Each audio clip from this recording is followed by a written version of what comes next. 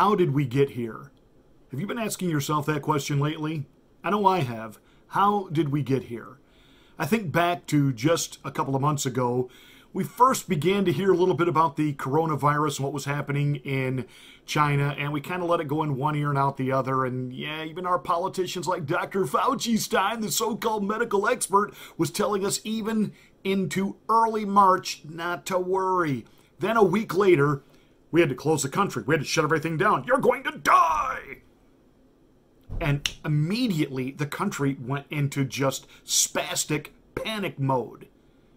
Then we have a situation that no one defended what a police officer did, and yet we have a race war on our hands.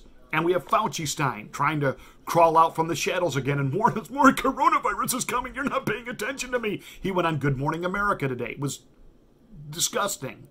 Go away. How did we get here? Beloved, this was not overnight. This was not just somehow we collectively checked our brains at the door and became stupid over a, a two month time period. This has been a slow, deliberate, systematic demobilization, demoralizing of the United States at our very fabric of history, which, by the way, did you see? HBO was taken down on its streaming service, Gone with the Wind, because it's um, racial. Well, yeah, was made in a depiction of the Old South. But now it has to come down because it was racist then, despite the fact the very first African American received an Academy Award for that movie. That might be of some historic significance, wouldn't you think? But nonetheless, uh, they're taking it down, and they said it will come back, but it will come back with discussion and disclaimers as to why it's completely inappropriate. This revisionist rewriting, erasing of our history. And it's all on purpose.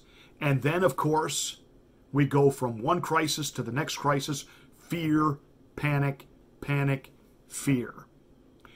Today, I am featuring a video, not of me, but of Yuri Bezmenov, who was a former KGB agent in Soviet Russia who defected to the United States sometime, I believe, in the 1970s, 1980s, and he began conducting seminars and giving interviews as to how Marxism, communism, is affecting directly what we do here in the United States and how patient they are.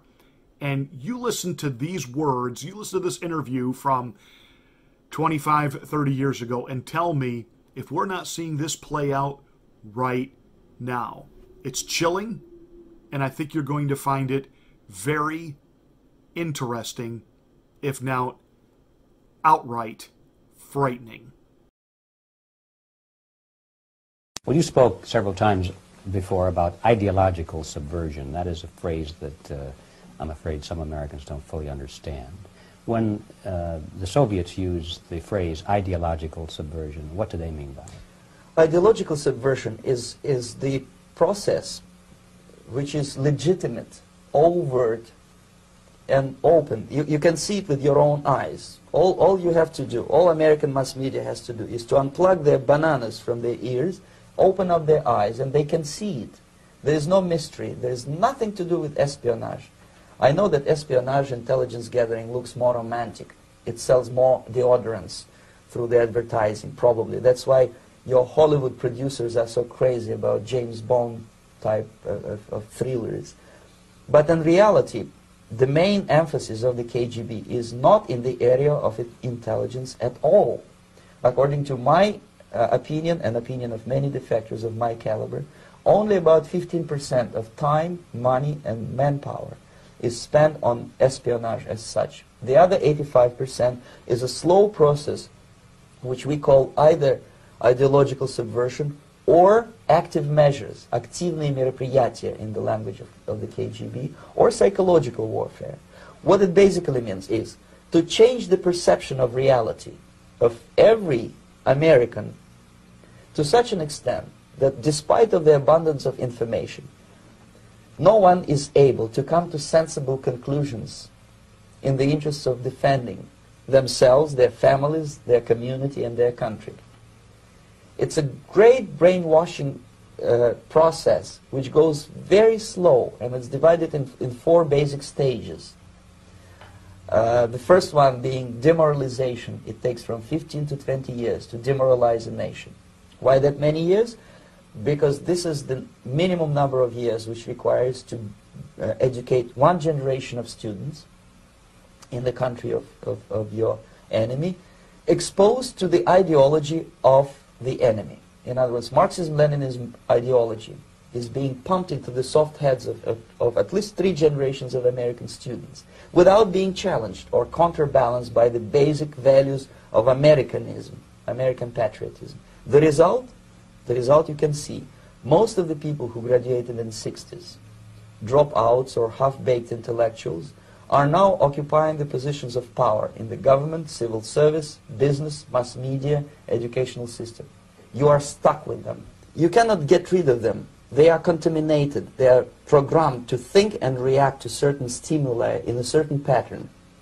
You cannot change their mind, even if you, if you expose them to authentic information, even if you prove that white is white and black is, uh, is black, you still cannot change the basic perception and the logic of behavior. In other words, these people, uh, uh, the process of demoralization is complete and irreversible. To get rid society of these people, you have you need another 20 or, or, or 15 years to educate a new generation of patriotically minded and, and, and uh, common, common sense people who would be acting in favor and in the interests of, of the uh, of uh, United States society.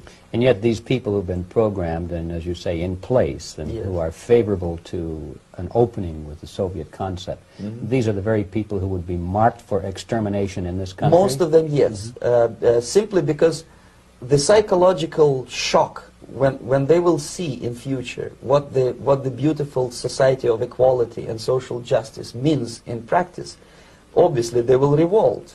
They, they, they, will, uh, they, they will be very unhappy, frustrated people. And the Marxist-Leninist regime does not tolerate these people. Uh, they, obviously, they will join the links of dissenters, dissidents. Yes. Uh, unlike in present United States, there will be no place for dissent in, in future Marxist-Leninist America.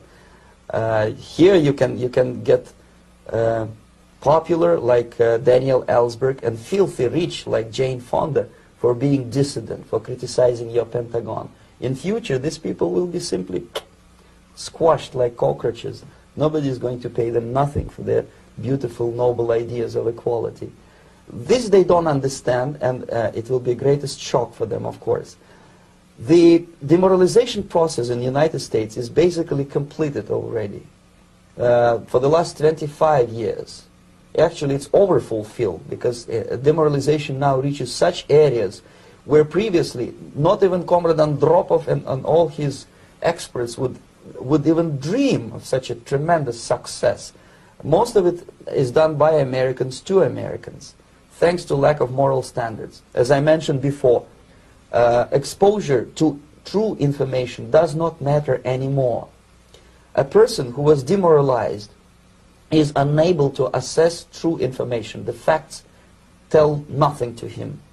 Uh, even if I shower him with information, with, with authentic proof, with documents, with pictures, even if I take him by force to the Soviet Union and show him concentration camp, he will refuse to believe it until he, he is going to receive a kick in, the, in his fat bottom. When a military boot crashes his then he will understand, but not before that. That's the tragic of the situation of demoralization. So basically America is stuck with, with demoralization and unless, even if, if you start right now, here, this minute, you start educating new generation of Americans, it will still take you 15 to 20 years to turn the tide of, uh, of ideological perception of reality uh, back to normal, no, normalcy and, and uh, patriotism. The next stage is destabilization. This time, subverter does not care about your ideas and the patterns of your consumption. Whether you eat junk food and get fat and flabby doesn't matter anymore. This time, and it takes only from two to five years to destabilize a nation, uh, it's, what, what matters is essentials. Economy, foreign relations, defense systems. Uh, and you can see it quite clearly that in some areas, uh, in such sensitive areas as, as uh, defense and economy, uh, the uh, influence of Marxist-Leninist ideas in the United States is absolutely fantastic. I, I, could never believe it 14 years ago when I landed uh, in this part of the world that the process will go that fast. Uh, the next stage, of course, is crisis. It, it, it, may take only up to six weeks to, to bring a country to the verge of crisis. You can see it in, in Central America now. And after crisis, with a violent change of, of power, structure, and economy, you have so-called the period of normalization. It may last indefinitely. Normalization is a cynical expression borrowed from Soviet propaganda. When the Soviet tanks moved into Czechoslovakia in 68, Comrade Brezhnev said, now the situation in brotherly Czechoslovakia is normalized.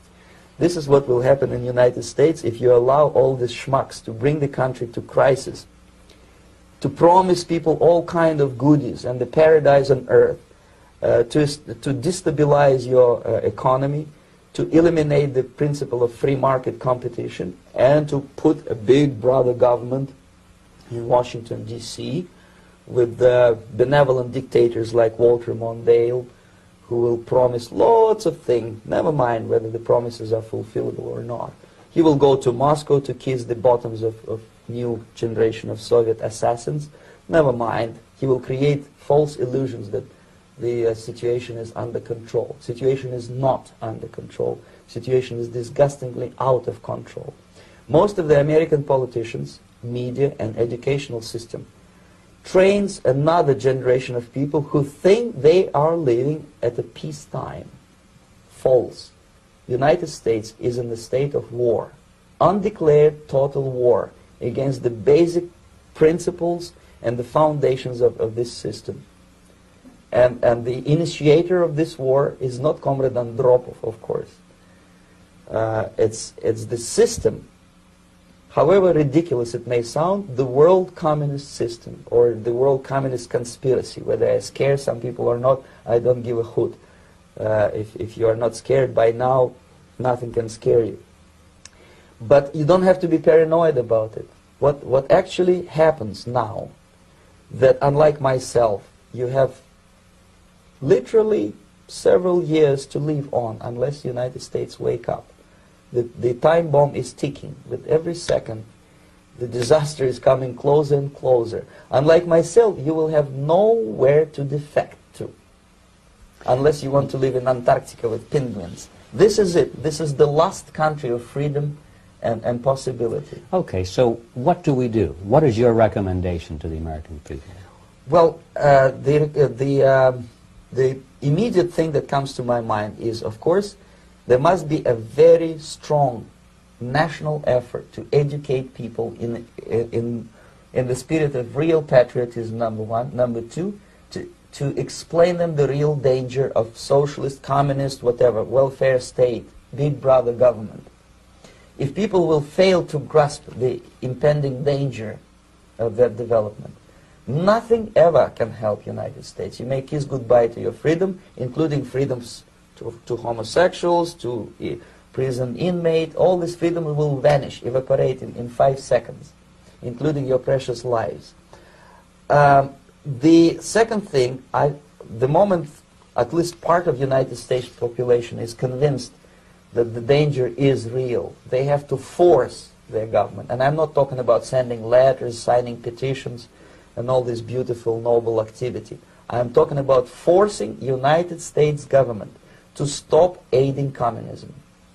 Because there is no other problem more burning and, and urgent than to stop the Soviet military-industrial complex from destroying what is, whatever is left of the free world. And it is very easy to do. No credits, no technology, no money, no political or diplomatic recognition, and of course no such idiocy as grain deals to USSR.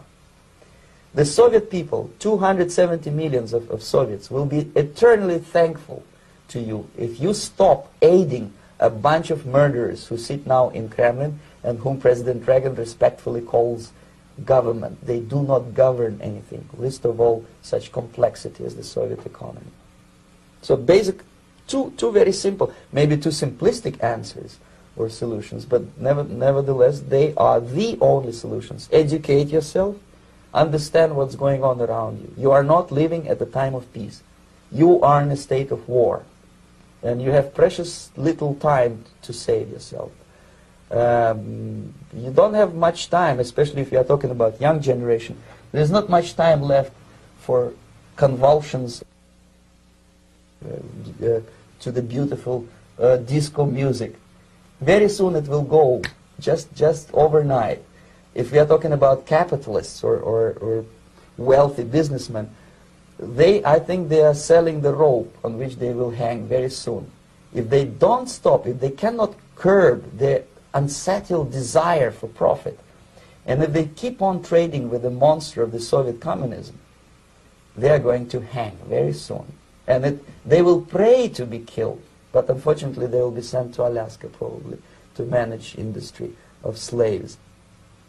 It's, it's simplistic. I know it sounds unpleasant. I know Americans don't like to listen to things which are unpleasant. But I have defected not to tell you the stories about such idiocy as, as microfilm, James Bond type espionage. This is garbage. Uh, you don't need any espionage anymore. I have come to talk about survival. It's a question of survival of this system.